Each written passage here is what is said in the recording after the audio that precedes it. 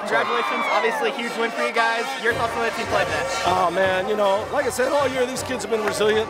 We fought back and forth all year from day one on injuries.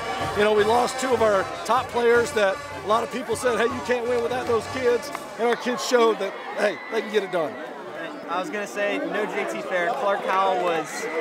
Um, pretty incredible day, unstoppable. Um, how, how do you feel about the way he sort of stepped up, really took the reins? I think he had like 25 carries today. Yeah, a lot of people didn't know it, but uh, we went into the game believing that we'd have to run the blast, which is what Clark does. And, uh, you know, there's a lot of questions who would be this person over here to take JT. A lot of people felt it was Clark needed to be the guy. I needed him inside the play, inside the tackles, he did an amazing job tonight. So, so proud of him, proud of the kids. What a great team effort. I know we've talked a lot about how you said that in the fourth quarter, uh, that's when you have to play your hardest. That's when the, the short runs, the short yard situations are really important. That's right. This fourth quarter, you guys held the ball 11 minutes. Yeah, you know, um, I think we had two drives in, in the second half. They're over eight minutes apiece. We had a 14 play drive, and then whatever that drive was to seal it. So that's pretty awesome. It's what we call wing team people. How do you um,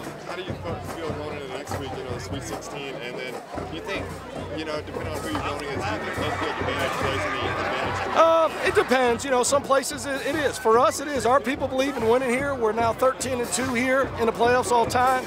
And, you know, it's just one of those things that I think for us, a big drive down there to Crisp County, Cordele, we just got to get our minds ready to play. and you know, 11 straight playoff wins, like you said, the home field advantage, 13-2 all time here. You know, how, how important is it, or how much pride do you guys take in, in that great record at home and showing the fans a good game? Oh, it, it's big. It's big. You know, and our kids, they knew the seniors' chances were this is the last time they're going to play home, um, unless something crazy happens. So, you know, they want to get a good show to everybody.